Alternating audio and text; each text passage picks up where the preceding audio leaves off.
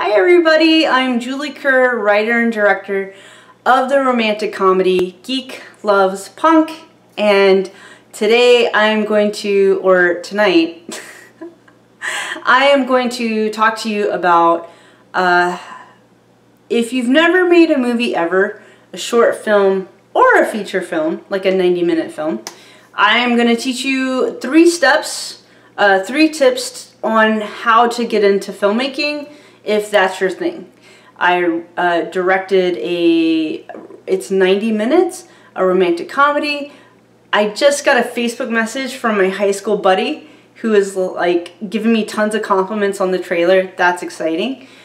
On my website, I have an email list and I send out this weekly email, uh, basically weekly email check-in thing. And I send out just a weekly email list, a motivational email list, just checking in and letting my the people I love know what's going on with me. And usually it has to do with uh, filmmaking and that kind of thing. I got a request to make some YouTube videos about, you know, the process of filmmaking, and I can totally do that. And what I wanted to start with is kind of, this is going to be kind of motivational, and you're going to need this first before you pick up a camera. But after you watch this video, you can pick up a camera, or pick one up now while you're watching it and and play around with it. I don't know. Okay. Step one for if you want to get into filmmaking, uh, yes, this is going to be the motivational video for that, and and I'm going to talk to you if you've just never done it before. So, uh, step one, if you've never made a movie ever, uh, I'm going to let you know, just embrace the technology. So I think if you never made a film, and you're feeling in intimidated by how a camera works, how editing software works, potentially directing actors, writing a screenplay, any of that stuff. If any of that stuff like intimidates you because you've never done it before, I just want to let you know that's okay. Directing a film, what's actually really it opinions, excuse my language, opinions, everybody has opinions. I'm just going to give my opinion. I live in the San Francisco Bay Area there's people out there and people out there who can be just a smidgen um, pretentious about the filmmaking thing, which is totally fine. Uh, but I tend to be more laid back about filmmaking and I'm a comedian or I, I do comedies. So I'm to give you the laid back uh, opinion on filmmaking. Alright. The most important thing if you're to direct a movie, just letting you know, is having something to say and controlling the tone of a film. And those are the two most important things, like ever. so please don't let the technology scare you because you're to learn the technology. You're to learn how a camera works. You're to learn how, by doing, learning by doing. You're to learn how editing works. Uh, you're going to learn how screenwriting works, all that stuff. And by all means, if you want to take classes, that kind of thing, go for it. But don't let the technology stop you from making a movie because you'll learn it. And, and it's not as if you're feeling scared or like, I was kind of a, or I still am in a way, I was kind of a hillbilly from Virginia. So like, I moved out here to San Francisco, California where I live and I, I saw like fancy you know, camera equipment and I saw sound equipment. This is the boom mic. I think I'm so rusty. This is like the stick. I think it's called a boom. So there's a boom and then the, right now there's sound people rolling their eyes. Pretentious sound people. Or right now there's really nice sound people being like, Julie! okay, whatever, as far as who's watching this. So, uh, um, so anyway, there's like the stick that they hold and clearly I'm not a professional sound person. There's the stick that they hold. There's like a boom mic that's attached to the stick. Pretty sure the stick's called a boom, but it's a fancy stick is essentially what it is. And uh, by the way, sound people are super important. Super important. Love you sound people. Ooh, Edward. Love you, Edward. He was the sound guy on my movie. Shout out to Edward and Raul, who are the sound people on my movie. So the point is just like don't let don't let the techno technology part of filmmaking like kind of scare you or intimidate you because you're you're gonna learn all that stuff and you'll learn it pretty quickly And once you get into filmmaking, it's kind of, I hate to say it, like it's not necessarily, it's just not that big of a deal once you kind of get used to doing it. Uh, also, because the most important aspect of filmmaking, if you're going to be directing, is actually just setting the tone of a film and then um, what you're really controlling is the tone of a film and having something to say. So, uh, and look, if you have something to say, well, you should have something to say. So if you want to make a film and the, it, it, doesn't have to be crazy sophisticated, right? Because uh, I'm a comedic, at the end of the day, I'm a comedic director. Um, so, you know, I'm never, I doubt I'm ever going to make anything like what uh, Christopher Nolan does.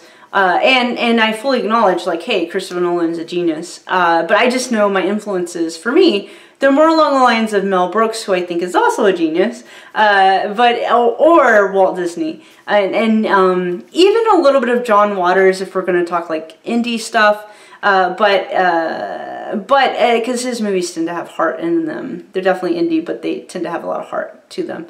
But but anyway, it's okay if you want to be a filmmaker uh, yeah, what you're controlling is tone, and what you're control. You definitely want to have something to say, and if you want, in my opinion. okay, and then the other thing is, it doesn't have to be anything like crazy sophisticated. So you could, if you just want to say, if you're really, if you have a garden and you're very enthusiastic about your garden, so you want to make a film about how everyone should eat vegetables out of a garden. I don't know, anything like that. Great, that, that's what you do. Make a film about whatever. So, in, uh, and then the genre, so let's say you want to say something serious, like you want to say uh, people shouldn't be mean, because let's go with that. Uh, you so that's like your theme or your message or whatever. Hey, don't be mean. But you can, but okay, great, that's your theme. Now you can pick whatever genre you want. So you could pick the genre of killer clowns, you know what I mean? So you take the, the genre of killer clowns, if that's what you want to do, and then, but the message of your movie is don't be mean. Uh, and I mean, that sounds like fun to me. Uh, so, uh, so yeah, if you make a film, it could be like a serious drama, by all means, go for it. Or it could be like a B-movie science fiction movie, which sounds awesome. Uh, you could go that route. So it could be any genre that you want it to be. But you do want it to have something to say. Uh, so the movie, well, Par the movie that won the Oscar recently is Parasite. But Parasite, well, it was a, I, I would call it a horror film. It was brilliant brilliant. I saw it three times in the theater, twice in color, once in black and white. So the uh, what's my point? Well, Parasite was like a serious movie, uh, pretty serious movie, a really good movie, brilliant. But uh, the guy who uh, directed it, um, my one of my really good friends is Korean American, and she speaks uh, to me. She speaks fluent Korean, and apparently I was saying his name, the director of Parasite's name wrong. I said it like four or five times. I I do apologize. I it's a beautiful language. I just don't speak fluent Korean, but uh, I'm gonna get his name right. Uh, I'm gonna say his name. There it is. Okay. So I was saying uh, I'm American. I was saying Bong Joon Ho, and I said like five times. And then finally my friend was like, Julie. she's like, Julie, it's not Bong. she said, uh, she, she wanted me to say it in correct uh, Korean, which totally makes sense. She said, it's Bong Joon-ho, which does sound better. I, I was wrong. I was totally in the wrong. So Parasite, directed by uh, Bong Joon-ho. I hope I'm doing that right. Bong Joon-ho. Okay, so yeah, like he did he did Parasite, which is brilliant. Absolutely, that movie's outstanding. But he also did a really great monster movie called The Host. Totally recommend it. He did like kind of a comic book ish uh, movie called Snowpiercer, which is pretty good. So I mean it's like even him, he did some great like genre movies uh, before he did like Parasite, which is totally brilliant. So my point is like, uh, you know, you can make like a monster movie. You can make um, a cool like low budget. Well, hey, I don't know you. You could be a billionaire watching this right now. It don't gotta be. It don't gotta be low budget if you have the money. But um, but anyway, just just saying like, in a way, the sky's the limit so the the point is uh, essentially.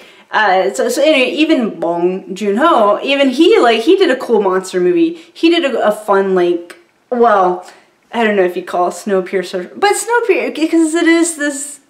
Yeah, it's like a fun. It has a good message, but it's like a fun comic book movie ish.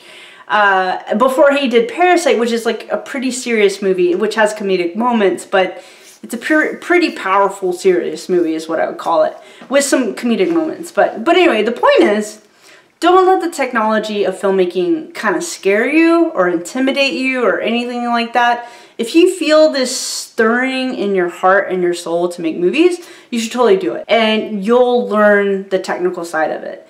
And I hate to say this, but the technical side of it, I say this with love, and there's plenty of people out there or out there who might like not agree with me. But the technical side of filmmaking, it's not as important in my opinion, and I'm a bleeding heart, as the technical side, not as important, uh, even though I know brilliant, brilliant, brilliant technical people. It's not as important, but it's expensive. The technical side tends to be kind of pri pricey. I'll get to that.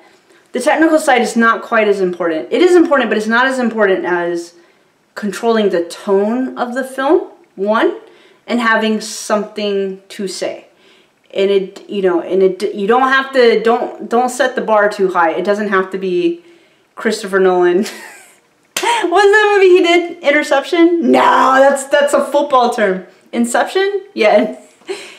Clearly i'm a comedic film director. Okay so but and hey again christopher nolan genius. Absolute genius for sure I'm not worthy, right? But just just don't be intimidated by it. You know what I mean? If you're like, I need it to be as brilliant as Inception, uh, then you're kind of like you're psyching yourself out of filmmaking. Don't do that. Just just go for it. Make a movie, and don't be afraid for it to quote unquote suck. You know what I mean? Like you're just learning your craft and and you learn in my opinion by doing and you're not just learning the logistics and the technical side because that is important like making sure you get good sound making sure the, the lighting looks kind of decent i'm using I'm, oh my movie was micro budget oh i should tell you now i'm not a billionaire so my movie uh, would be considered micro budget. That's a fancy word for I didn't have no money. I had a little bit. I had a little bit, but it had a budget, just not like a big one. So, so anyway, my point. So the technical side, you're gonna learn that side for sure. Like uh, lighting, cameras, editing, post production, sound design, etc., etc. You're gonna learn all that stuff really what you're learning when you start practicing with the filmmaking, you're learning tone uh, and controlling the tone of a film. If you just think of whoever your favorite film director is, um, th their movies have a certain feel to them, right? Christopher Nolan's movies feel, even uh, Bong Joon-ho's uh, movies, they have a feeling to them. Because uh, I, I recently went back and watched Snowpiercer they just generate this feeling. Um, uh, who else? Uh, Sofia Coppola, I just watched on Netflix. I think it's called The Bling Ring. And I really liked her directing style because she directs in a way, I don't know if I'd, maybe I would direct in that kind of way, I'm not sure. But I was really impressed because it's so different than how I would direct something. I just compared myself to Sofia Coppola uh, which is bonkers because she's better. she's better than me. I'm okay with her being better than me. So uh, I was like, I can't believe I just compared myself to her. But let's go with, I could never draw. Uh, anyway, so Sofia Coppola, um, yeah, I really enjoyed watching The Bling Ring because it just felt like a Sofia Coppola movie in a good way.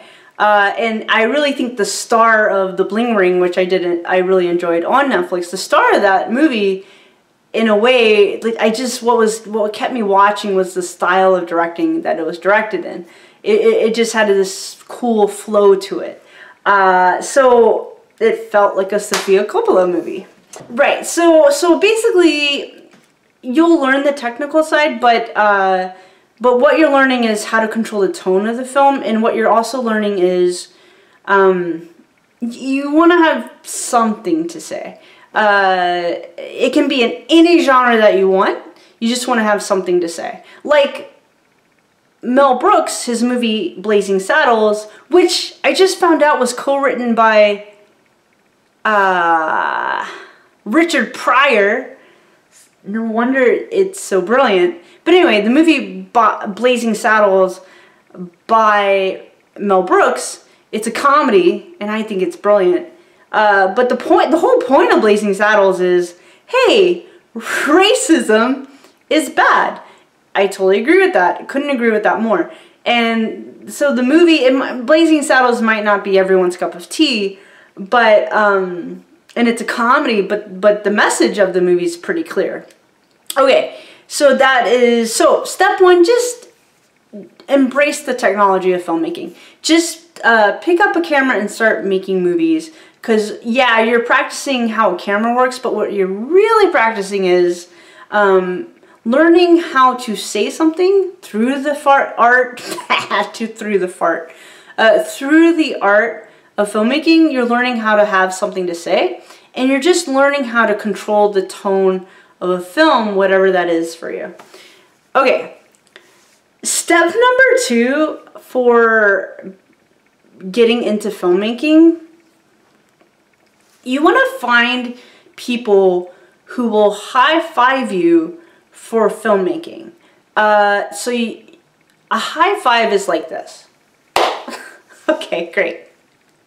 Yeah, okay. So what you want is people who are going to support you. And that just means when you tell people, hey, I made a movie, they're going to go, yay! Okay, that's so cool. So uh, Steven Pressfield, one of my favorite authors of all time, he has a book called The War of Art and it's break through the blocks and win your creative inner battles. And you can see my copy, it's like all bent and there's like coffee stains and I've read this, I've, you see it's all highlighted. I've read this book 50 times.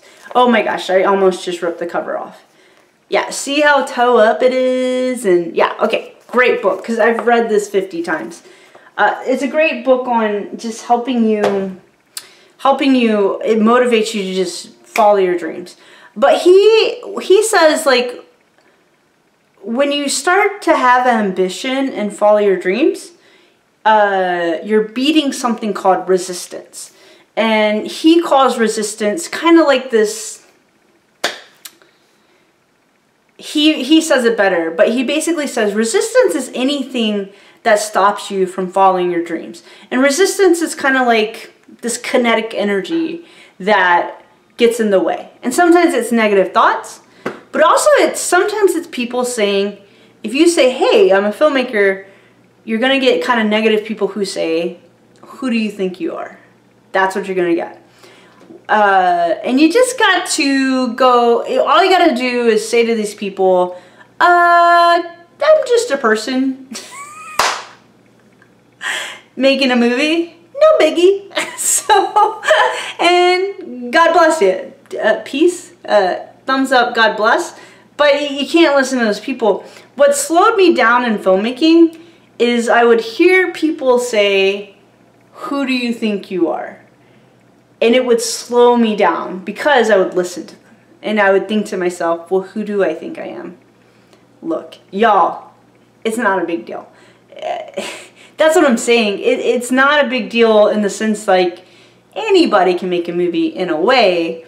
Uh, so I just think that, yeah, don't listen to those people.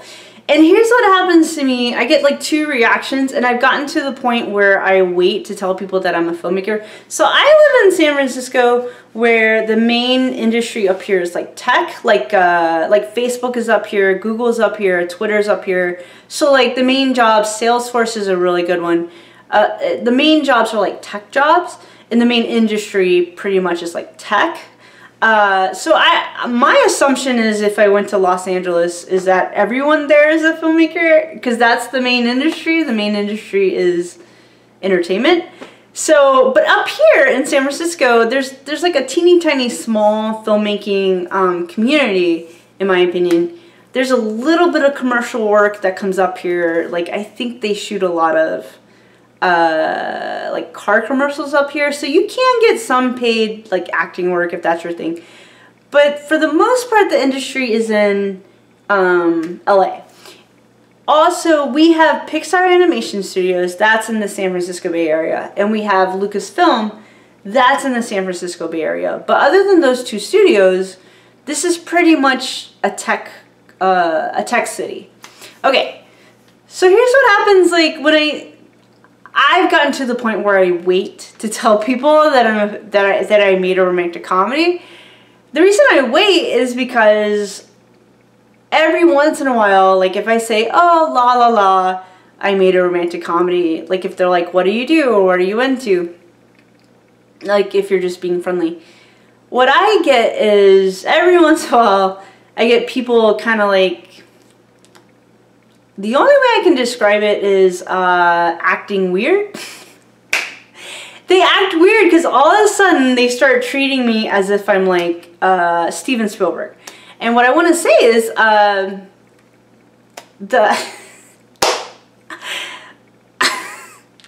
here's what I want to say. Uh, the amount of money that Steven Spielberg has made as a film director is uh, different than the amount of money uh, I've made as a filmmaker. okay, like, there's no comparison. I've made a teeny tiny bit of money. So this is how much I've made off filmmaking. And don't get me wrong, I have ambition. Like, I, I feel a calling.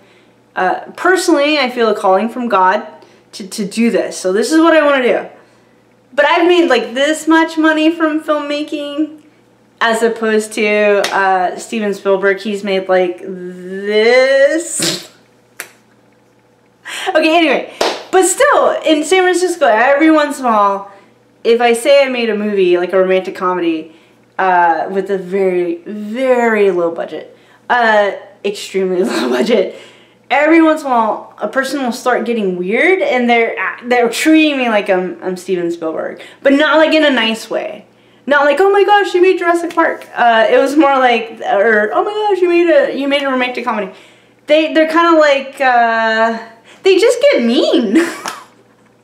I don't know. I don't know. I don't know how how else to put it. They just get kind of mean and whatever, and like I don't know why. And they they kind of get this attitude. Who do you think you are? And um, anybody can make a movie. Anybody can make a movie. Not anyone can make Jurassic Park because you need like a bajillion dollars. to make Jurassic Park. Even people with bajillions of dollars, they, you know, you still, to make, you gotta have some talent to make something as good as Jurassic Park. But, but anyway, so uh, my point is, yeah, every once in a while you get people like, who do you think you are? And, and, and they just get weird or kind of mean. Uh, which is why I wait. One of my friends in, here in San Francisco, he also made a romantic comedy he actually went down to LA and made it in LA. Uh, but he had a budget, like a pretty decent budget. I mean, not millions of dollars, but still, it, it was, I don't want to tell his business, but it was good. It, it was like leaning, well, yeah, anyway, oh, I don't know if I should say, but it was a decent amount. It's definitely a decent amount of money. it was still times, it was still a lot more than mine no, no complaints. But but anyway, he made a movie. He's great. I consider him one of my soulmates. Uh, and I mean, we're we're friends. It's platonic, but still, I consider him like like we were in the trenches together as far as filmmaking goes. And, oh, and I I just said the word trenches. So any war veterans watching this, uh, thank you for your service, and I really appreciate that. I signed up. I signed up to be in the military when I was 18, and the military said hey, you're too chubby. they wouldn't have me. So I went to college and got an English degree. But anyway, so anyway, anyone in the military who's watching this, thank you for your service. I tried to uh, join the, the military. The army said, nope, get out of here, chubsters. They didn't say that. They did say you're too chubby. anyway, whatever. Uh, side. That was just a side note. Okay, so what I want to say is the point. oh yes, uh, step two: find people who will give you high fives for making movies. So at first, I was like, "Yay, I'm making movies," and I wasn't being braggadocious. I was just being happy because I finally found my thing. Like everyone has their thing that they're into. My mom really likes to crochet. Uh, my little sister loves being a parent. She's like a really great mom. So everyone has like their thing and my thing just happens to be filmmaking. Like I just, I finally found not just my thing, but like my mission in life. I finally found my calling. So I would be all happy-go-lucky talking about filmmaking. I wasn't bragging. I was just talking about something I really, really, really loved. Um, but anyway, but people got people got mean. So I actually wait. I wait to. But here, the reason I brought up my my friend who who also made a romantic comedy, ninety minute romantic comedy, and and he had a he had a pretty decent budget. But I in here in San Francisco, I see people get kind of mean to him. I was like, dude, why are you being mean to my friend? my friend is a great guy. He gives me advice all the time. Um, why why are you being mean to him? Because cause it's not like I'm Steven Spielberg and he's George Lucas. Again, I cannot, because he, I mean, I don't want to tell his business, but he didn't he didn't make a profit off his movie because it's hard. It's hard, hard, hard, hard, hard. It doesn't even mean the movie's not good. It is a good movie. It's a great movie, but it's just it's just so independent. So like for Hollywood, when they make a movie, it costs millions of dollars, and then they and then um, for marketing, they spend millions. Of, sometimes the marketing budget is as much as the you know production budget. So if they spend like 25 million to make it, and by the way, that would be considered low budget by Hollywood terms.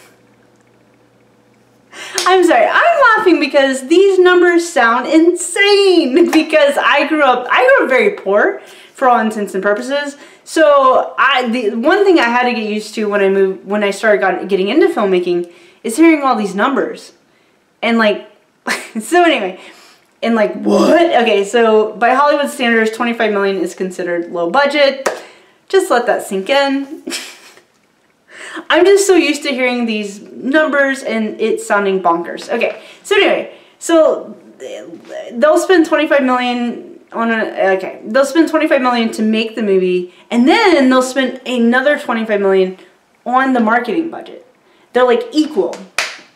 So my point in saying that, oh, so if you're gonna do an indie filmmaking thing, uh, like and make a 90 minute film, just understand that, uh, oh, the reason why you should be kind to independent filmmakers, usually what that means is they spent a lot of money, usually it's their money, or it's their friends and family's money uh, to make a movie and they it's just it's hard to make a profit off of of movies if you're independent okay so because like anyway so my friend who made a romantic comedy i made a romantic comedy every once in a while i'll see people be mean to him and i was like why are you being mean to him he's a nice guy. Like, what is happening here? And I know, like, his movie didn't do as well as he would have liked.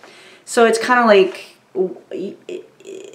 I don't know, why are you being mean when people get mean? But the reason, you know, the reason people get mean is, I have no idea. But no, the, the reason people get mean is when they know that I made a romantic comedy or my friend made a romantic comedy, as far as their association with filmmaking, Actually, I have no idea why they get mean.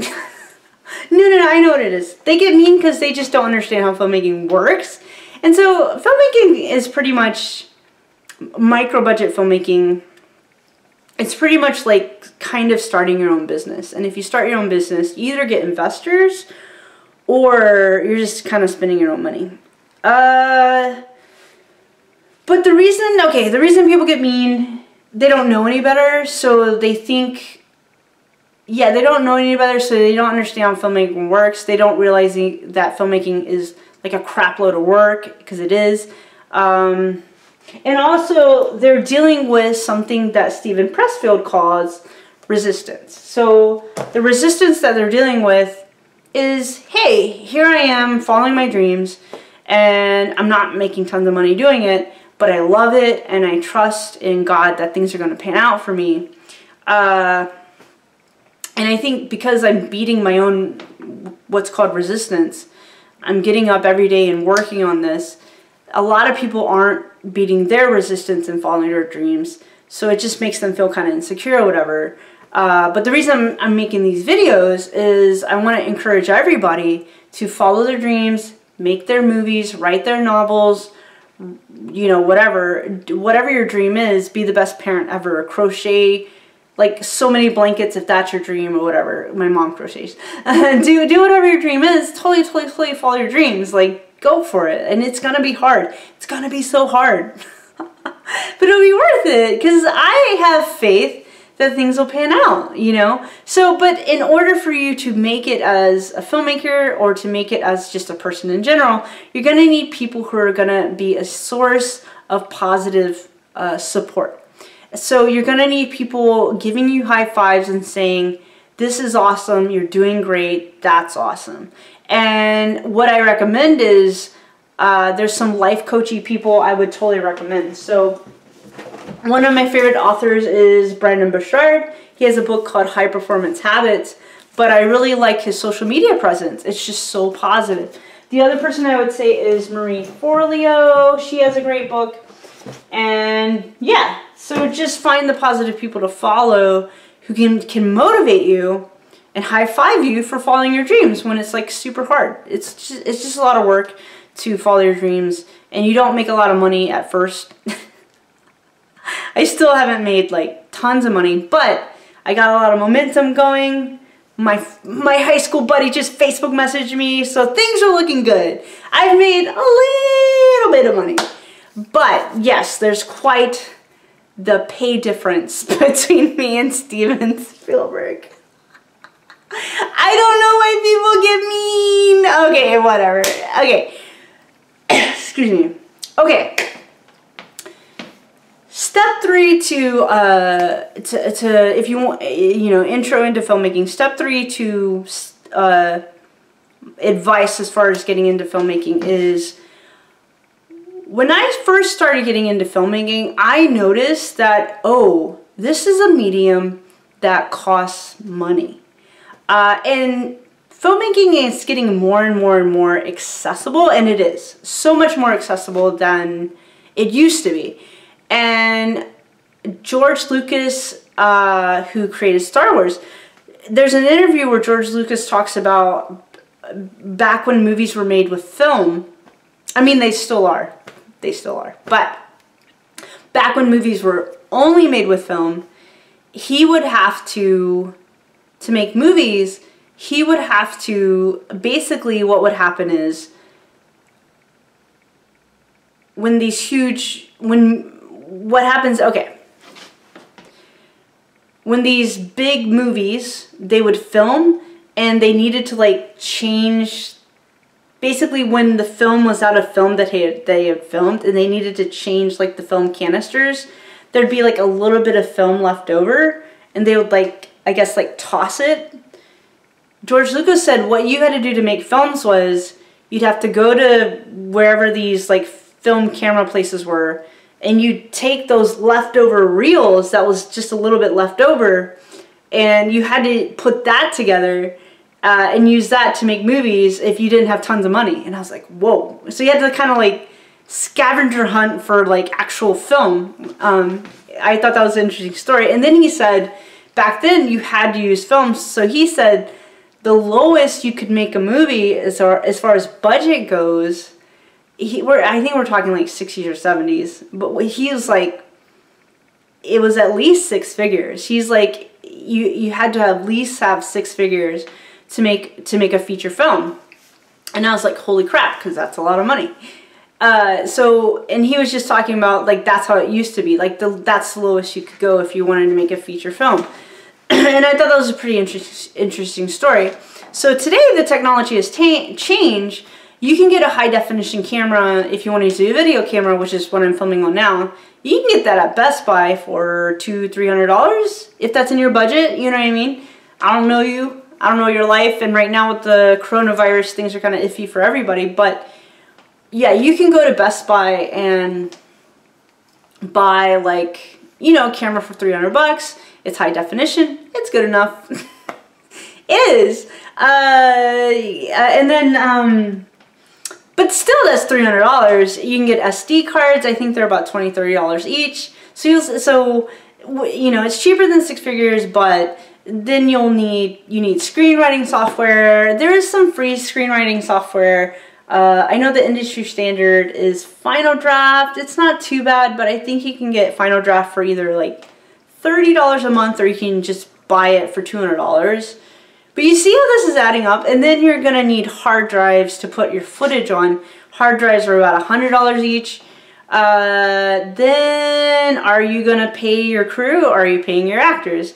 Uh, are you gonna have a makeup artist? Are you gonna pay for the makeup?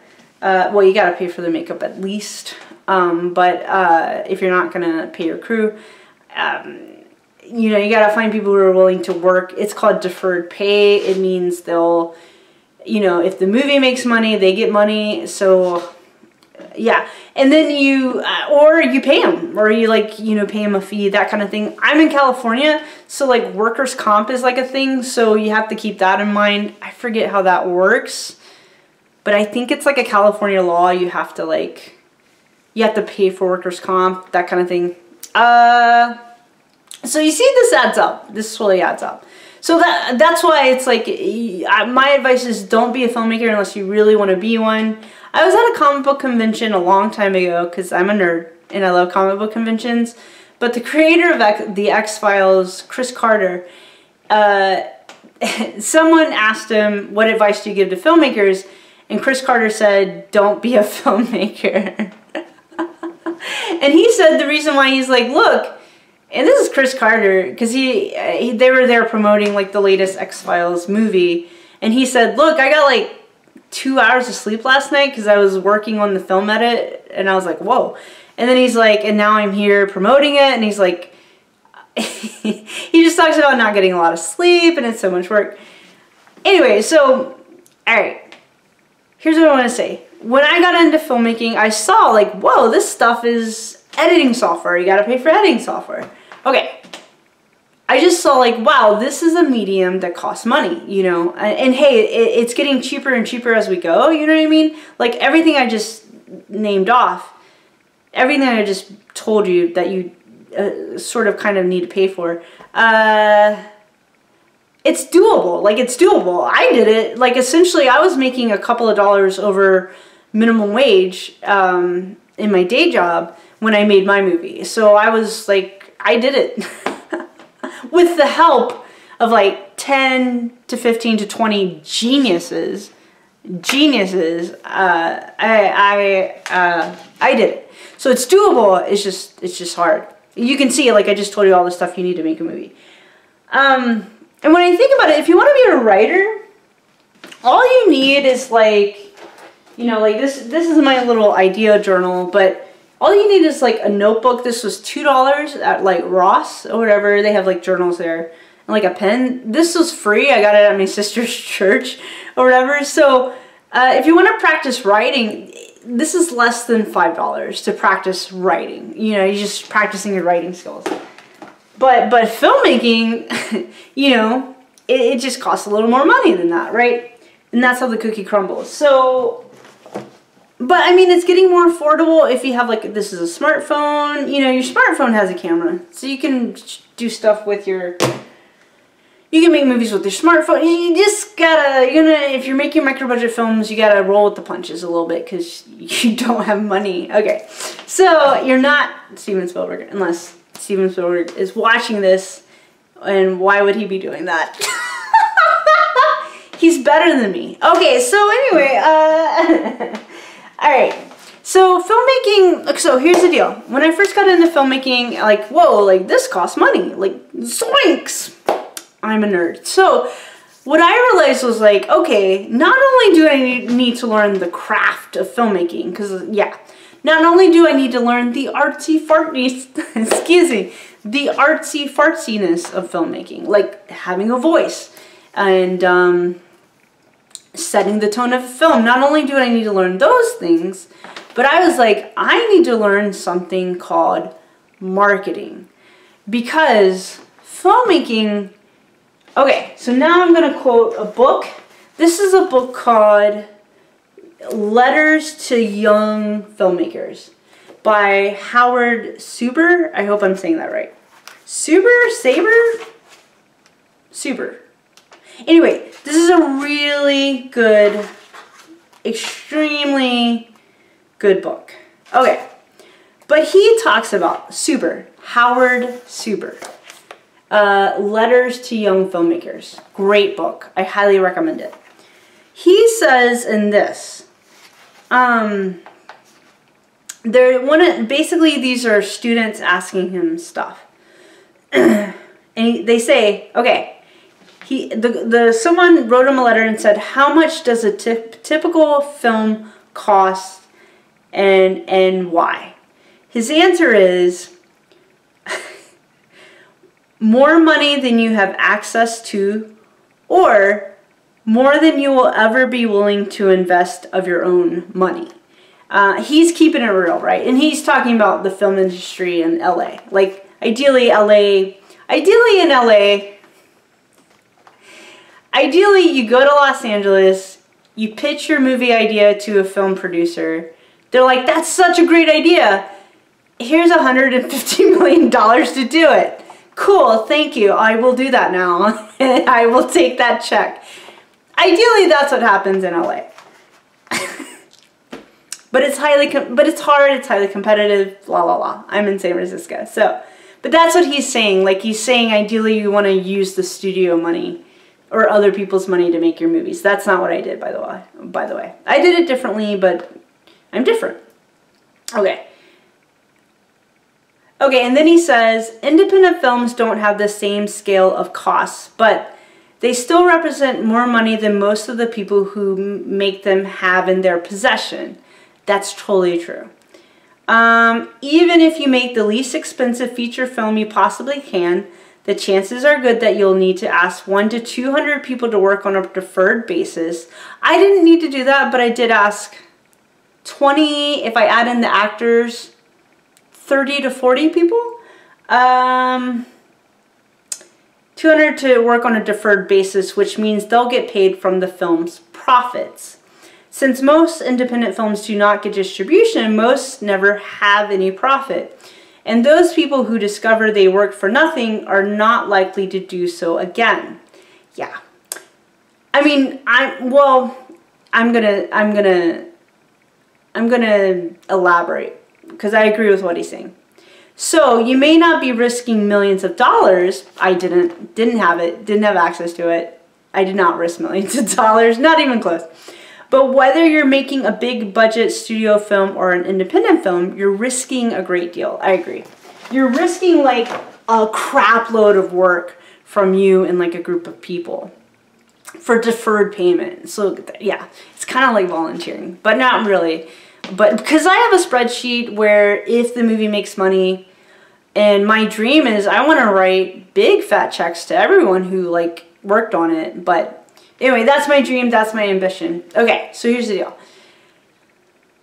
When I discovered and I saw, whoa, this is just a medium that costs money, like, whoa, I was like, okay, I need to study marketing because in a way, and I'm talking like, hey, I grew up poor, and I know like talking about money is such a triggering, can be such a triggering topic for so many people, but I was like, if, if this is my calling, if this is what I feel God wants me to do, I gotta learn marketing. These movies, in, in one way or another, unless you're unless you're Hollywood and you have oodles and oodles of money and they can afford to take a hit sometimes. They can't take too many hits. They go out of business like any other business, but still. Uh, they can take a hit or two and they're fine. But on my level, since I'm doing this, you know, as an independent person, I was like, oh, if I really want to do this for a career, I have to learn marketing because I have to make a profit off my movies because that's what that's how I pay people. That's how I keep the lights on, so to speak. That's how I keep this going. And it's not like, oh, I want to make profits so I can buy a yacht or whatever. I don't need a yacht. You know what's ironic? My friend, she's like, she wants a yacht. I was like, are you crazy? They're really expensive. okay, um, so nothing against yachts. I'm, I'm sure they're great. Boats are awesome. But she's like, yeah, Julie, get a yacht. I was like, with, with what? Imaginary money? Okay, so let's, let's continue. You know what's funny? She wants a yacht, so I go to a gay affirming church. I go to a church where they believe homosexuality is not a sin and it's gay people and straight people going to church together. That's a whole can of worms. I know it just opened and you can check out the videos I made about that below. But the only reason I bring that up, my friend wants me to have a yacht so we can do Bible study on it. I mean, okay. So I was, I was like, I remember I was having dinner with my friend and I was like, you know, I want to be successful, but I don't care if I own a yacht. And she's like, you should have a, you should totally own a yacht. We could have brunch and Bible study on it. And I was like, she's so sweet. she's so sweet. So cut to one yacht and people are partying and having a blast. Cut to our yacht and we're having brunch and reading the Bible.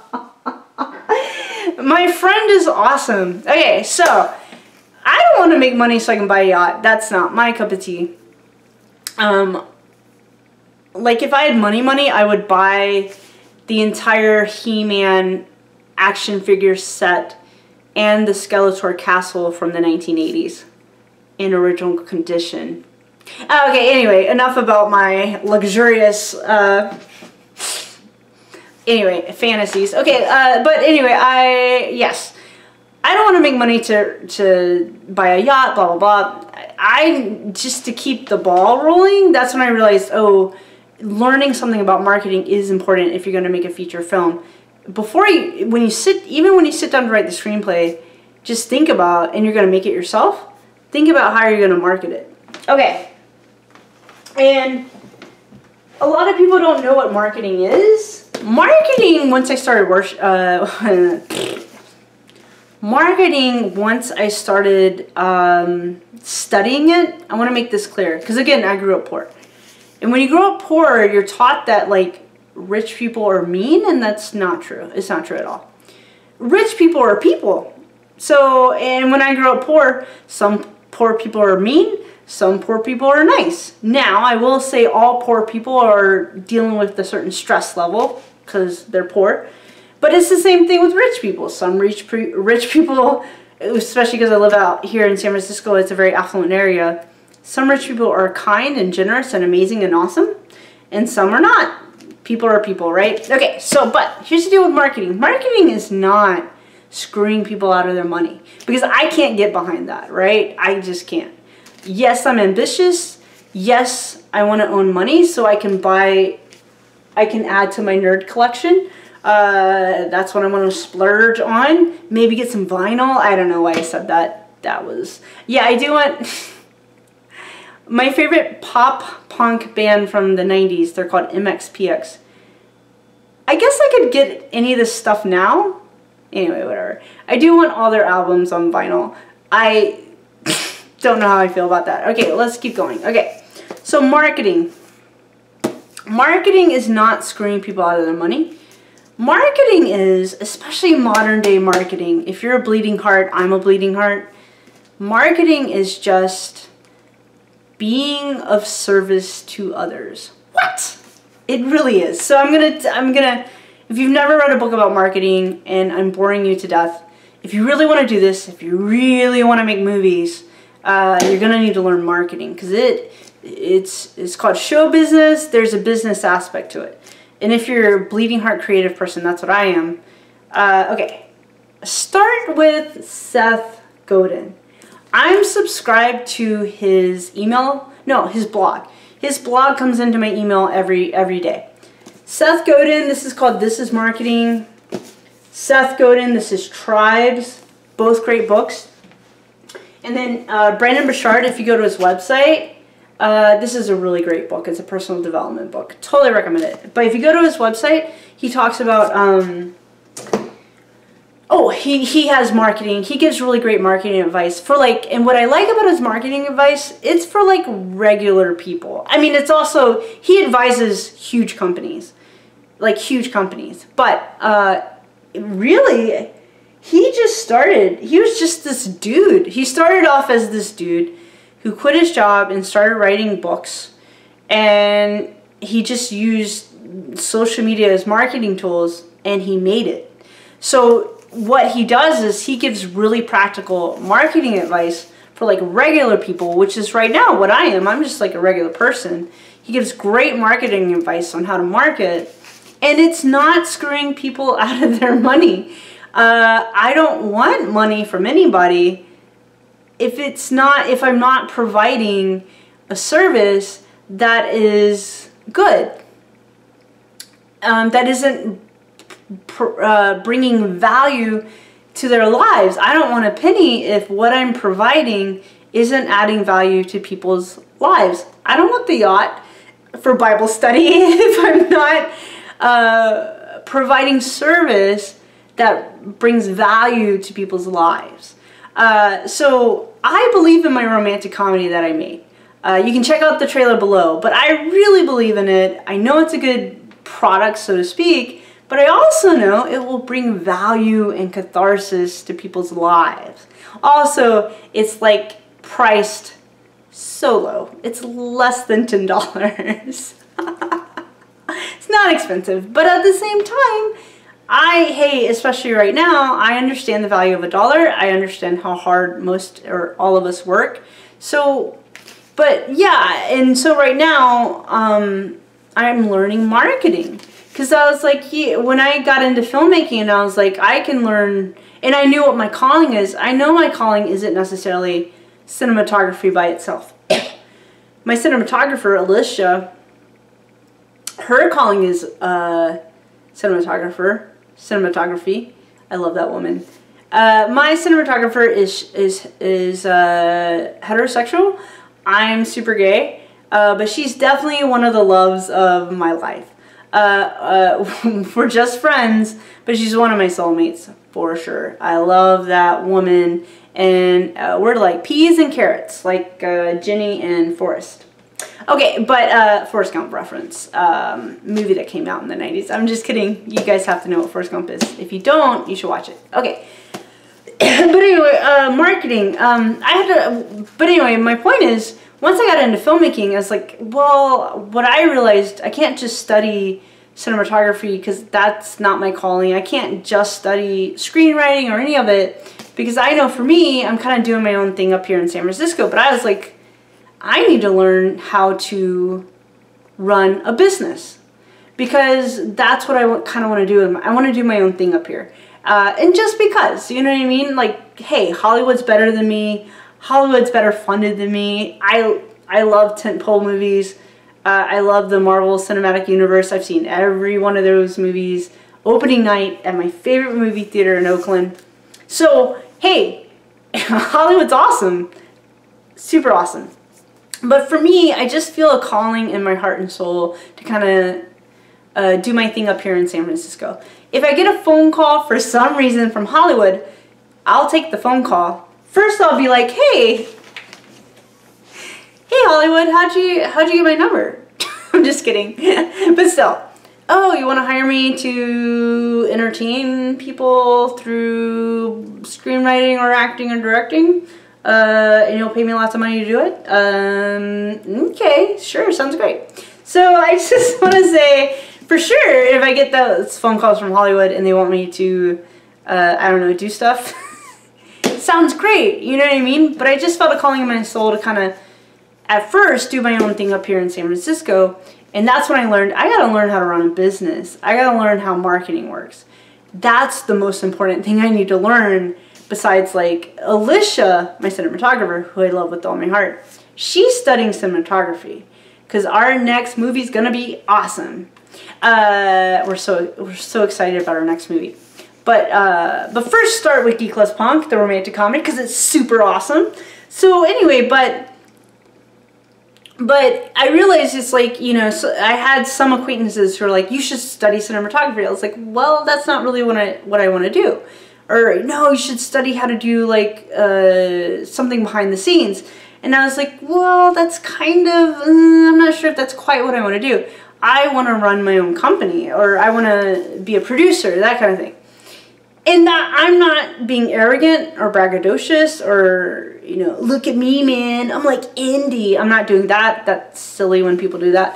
Uh, yeah, if Hollywood. I, I don't do that. Most of my favorite movies are tentpole movies. Okay, Jurassic Park, tentpole movie, great movie. Okay, it's a, if I may, if I may, it's a intellectual. It's a thinking person's tentpole movie. Thank you very much. A thinking person's popcorn movie. But anyway, because the first 45 minutes of Jurassic Park, they're just talking about science the whole time. Nerd! Just kidding, I'm a nerd. I love it. Anyway, uh, the point is, if you've never seen Jurassic Park, you should watch it. Okay, but okay. but anyway, I feel a calling to be up here in the Bay Area and kind of do my own thing first. And then for sure, maybe I'll mosey on down to LA with a bodyguard. Just kidding. I've heard some scary things about LA. But I've also heard there's a lot of great people in LA. Enough of that.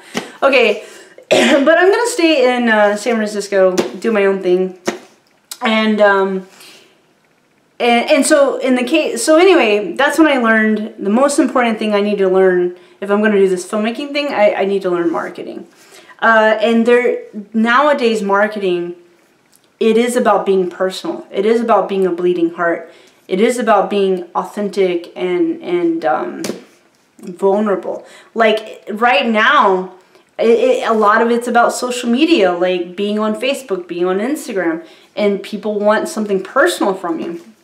So modern day marketing, it's perfect for artsy fartsy people like me and you. Uh, marketing's great and it's accessible. Buying, I haven't bought a Facebook ad yet, but Facebook ads, they're not expensive.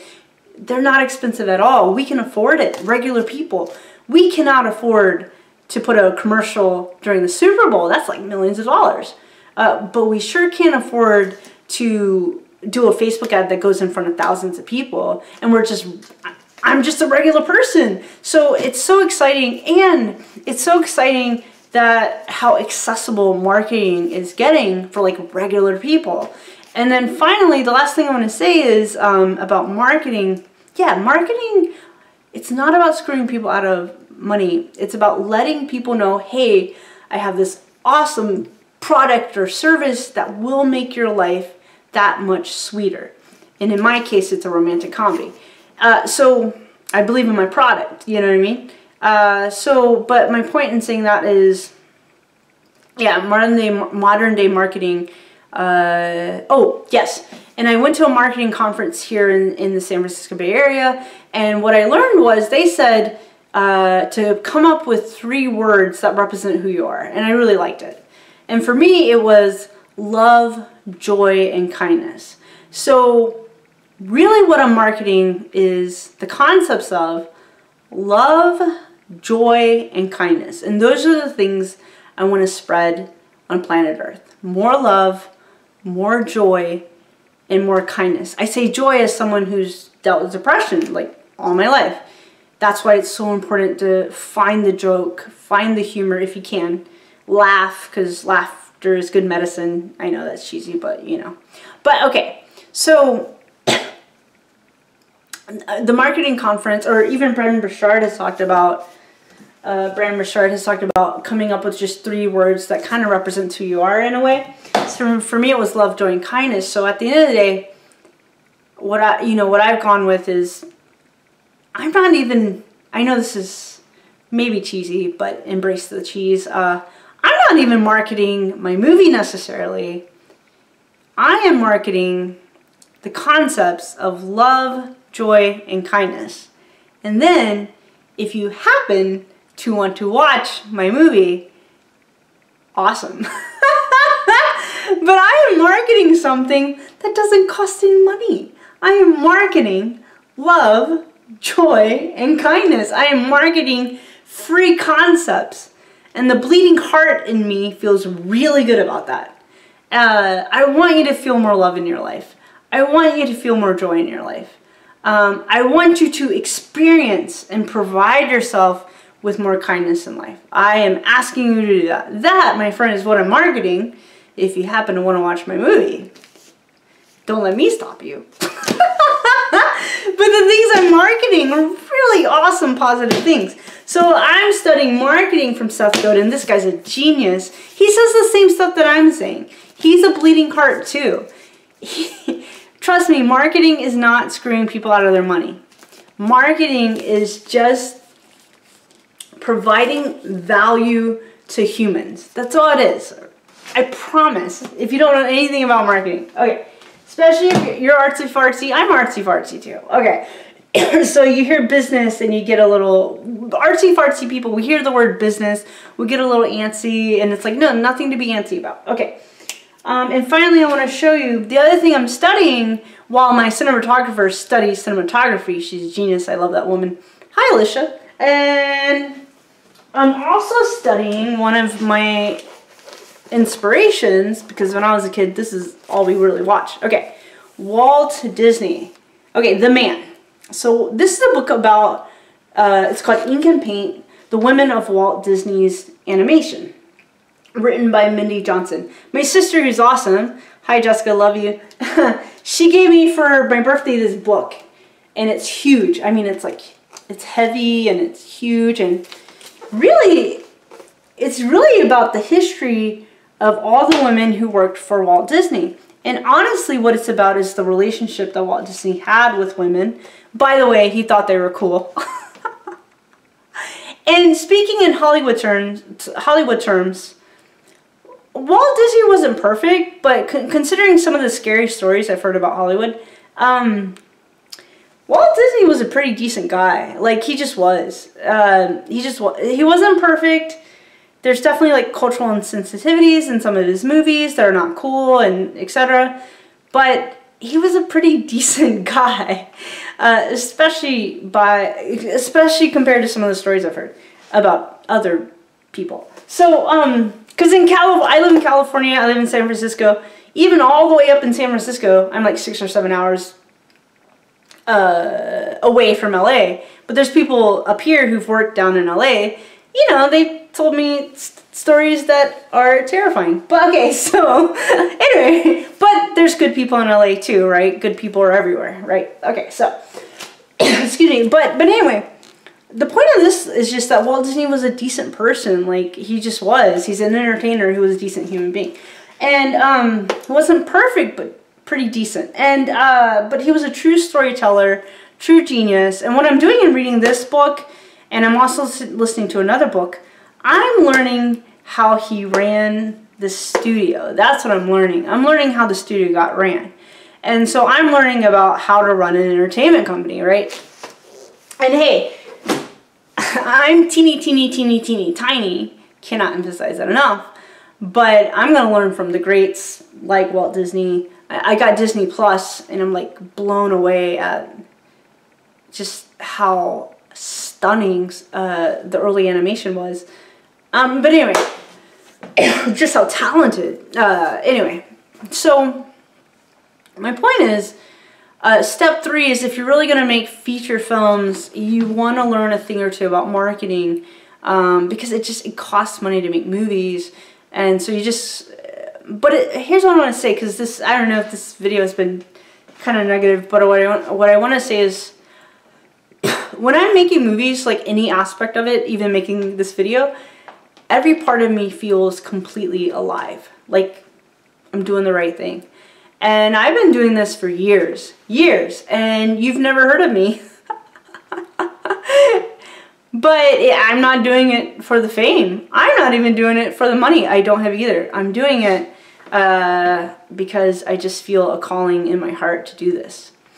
And so, and I want to market the concepts of love, joy, and kindness in the world because we really need those things now. We really need them now.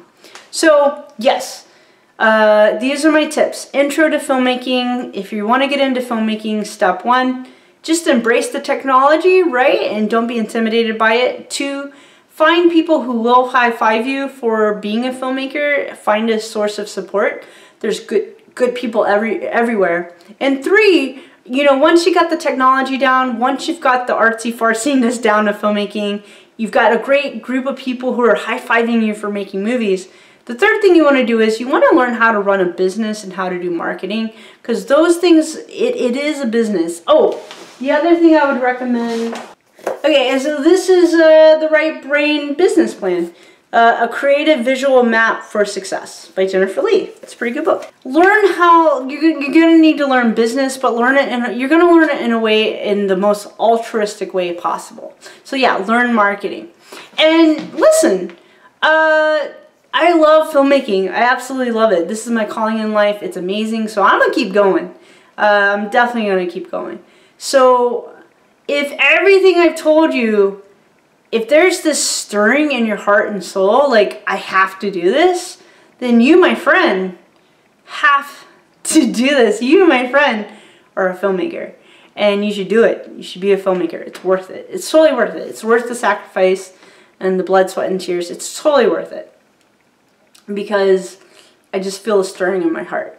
So, so, so if you're watching this and you feel a stirring in your heart, and everything I've said to you just gets you all excited and happy, then you, my friend, should should should pick up a camera today and make a movie, cause it's totally worth it. And I have a feeling like uh, the Black Eyed Peas. They have that song. I have a feeling. okay for them, they're having a feeling that tonight's going to be a good night. I'm having a feeling that this life is going to continue being an awesome life. And so I have a feeling that if you really feel a calling in your soul to follow your dreams, then your dreams will come true. So if you feel a stirring in your heart to be a filmmaker, then join me. You and me are comrades. You and me are colleagues. You and me are potential buddies and friends. And if you're cute, no, just kidding. But if we're all cute, we're all children of God, we're all beautiful.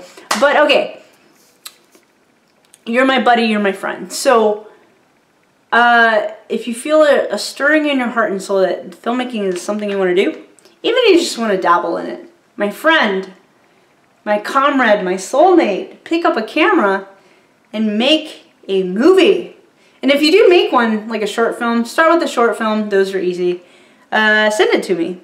If you're going to start with a feature film, woo, lordy, that will make a man or a woman or whatever gender you are, that will make a, it's going to make a man out of you, or a woman out of you, or a person out of you. Because, woo, lordy, it's so much work to make a feature film. But, okay, if you want to be a filmmaker, go for it, do it, just go for it uh, you'll never be the same in a good way. Okay, uh, if you like this movie, film, uh, video, if you like this video, uh, like and subscribe to my YouTube channel, but also, uh, yeah, so hang out, check out my other videos on this YouTube channel, and have a ball on YouTube. But also, uh, once you're having a blast on YouTube, if you want to mosey on over to my website, you can check out check it out at www Julie Kerr, K-E-R-R and you can check out my website. You can join my email list. If you join my email list, you get free weekly content that's only available through my email, and I send you motivational stuff, uh, just all kinds of awesome stuff. And also, if you join my email list, you get immediate access to my a free PDF that I uh, created and a free video that I made that helps you learn how to cultivate more love, joy, and kindness into your life every day. I grew up in an abusive home. I'm fine. But uh, because of that, I dealt with a lot of sadness. And uh, I now got into a lot of personal development. And I have these daily habits that I do every day that just make me feel good. Uh, see, don't I look happy? so I want you to feel good. And so if you if you join my email list, you immediately get access to the free PDF that I designed and you get a free video that shows you how to use the PDF to just feel good every day. And if you feel good every day, then you're in a good place to make movies. So yeah, join my email list. That's where you can also check out my movie trailer. Uh, and you can uh, also check out my movie. It's available on my website. Uh, all the ways you, if you just want to go crazy and check out all the ways you can connect with me, you'll see like a bunch of uh, links down below. Thank you for watching this movie. Uh, I'm sorry. Thank you for watch this, watching this video. And uh, follow your dreams, make movies, be awesome, and be good to yourself. Alright, I am Julie Kerr, writer and director of the romantic comedy Geek Loves Punk. Thank you so much for watching, and God bless.